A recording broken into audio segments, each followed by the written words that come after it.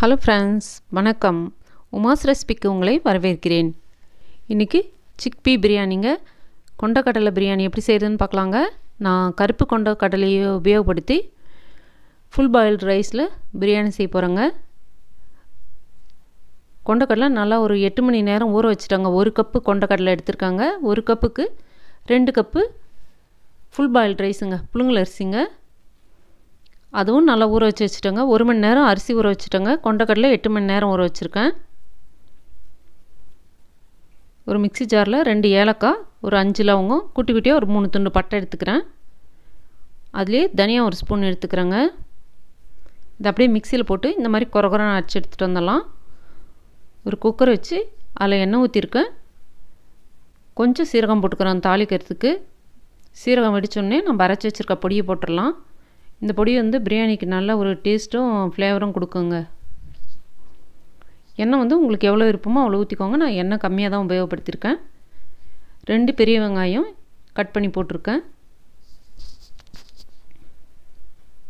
ரொம்பவே டேஸ்ட்டு நல்லா இருக்குங்க இந்த பிரியாணி. ஒரு ஸ்பூன் இஞ்சி பூண்டு விழுது போட்டுக்கிறேன்.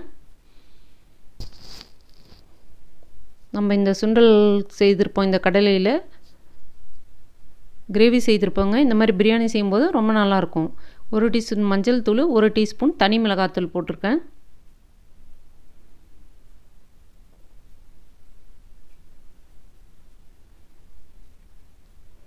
நான் தக்காளி விழுது எடுத்திருக்கேன்.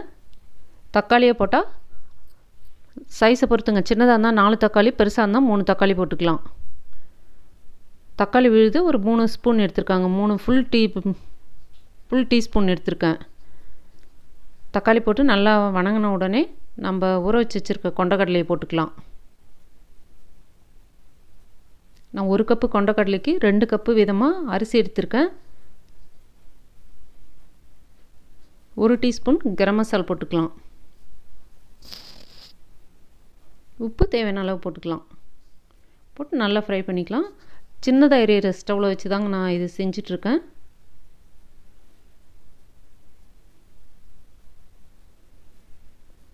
இந்த பிரியாணி பொறுத்தவரைக்கும் நம்ம ஆயில் கம்மியாக ஊற்றினாவே நல்லா டேஸ்ட்டாக தாங்க இருக்கும்.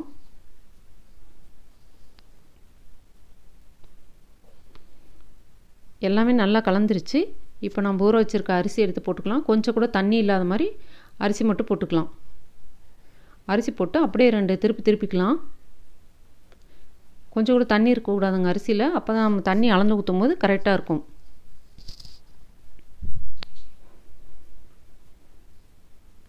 ரெண்டு கப்பு அரிசிக்கு கரெக்டாக நாலு கப்பு தண்ணி ஊற்றிக்கிறேன் சரியாக போகும் இந்த தண்ணி. அதே மிக்சி ஜாரில் கொஞ்சமாக நான் கருவேப்பிலை போட்டுக்கிறேன். புதினா இருந்தால் புதினா கூட போட்டுக்கலாம்.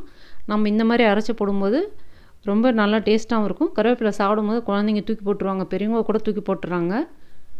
இந்த மாதிரி நம்ம போடும்போது அவங்க தூக்கி போட மாட்டாங்க அப்படியே சாப்பிட்ருவாங்க நல்லாயிருக்கும் இந்த மாதிரி போட்டிங்கன்னா. கொஞ்சமாக கஸ்தூரி மேத்தி போட்டுக்கிறேன். புதினா இருந்தால் புதினா போட்டுக்கோங்க. இதே போல் அரைச்சி ரொம்ப டேஸ்ட்டாக இருக்கும்.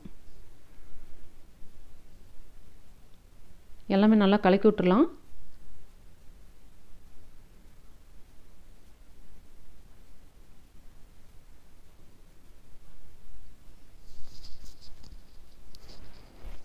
இந்த மாதிரி மூடி வச்சுக்கலாம். ஃபுல்லாக மூடாமல் கொஞ்சம் கேப் விட்டு மூடிக்கலாம். இந்த சமயத்தில் உப்பு சரியாக போச்சான்னு பார்த்துக்கலாம் எனக்கு உப்பு பத்தலை கொஞ்சமாக உப்பு போட்டுக்கிறேன்.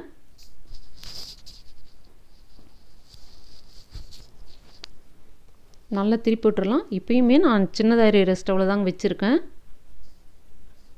நல்லா கலக்கி விட்டுட்டு மூடி வச்சுக்கலாம். கொஞ்சமாக மிளகுத்தூள் போட்டுக்கிறேங்க. ஒரு அரை டீஸ்பூன் அளவுக்கு. மிளகுத்தூள் வந்து ஆப்ஷனலுங்க ஃப்ளேவர் நல்லாயிருக்கும்னு நான் போட்டிருக்கேன். மூடி வச்சு வெயிட் போட்டுக்கலாம். வெயிட் போட்டு கரெக்டாக ரெண்டு விசில் விட்டு நிறுத்திடலாம்.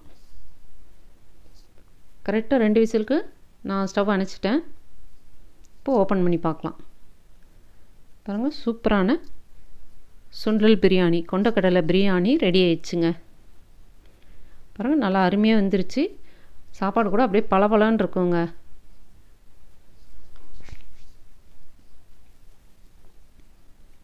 டேஸ்ட் கூட ரொம்பவே நல்லாயிருக்குங்க. இந்த ரெசிபி நீங்கள் செய்து பாருங்கள் உங்களுக்கு பிடிச்சிருந்தால் லைக் பண்ணுங்கள் ஷேர் பண்ணுங்கள் சப்ஸ்கிரைப் பண்ணுங்கள் தயிர் பச்சடியோ இதை வச்சு சாப்பிட்டிங்கன்னா ரொம்ப சூப்பராக இருக்குங்க. தேங்க்யூ